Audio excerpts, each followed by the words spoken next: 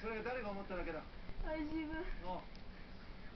やめていいよ。子供の相手でも決して諦めを許さないのである。できるできないを決めるのは自分だ。続いては修造のピンチを救った言葉。苦しい時。ほど笑ってごらん。苦しいと無理にでも笑顔を作れば前に進む力になるというこの言葉通り修造はある日の笑顔に人生最大のピンチをシリーズ最大ボリューム「リズム天国ザ・ベストプラス」どうですかお試しされていやすごい滑らかです。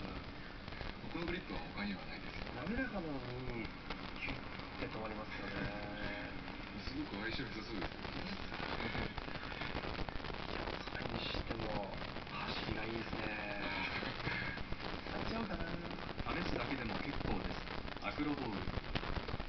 準備整えてます。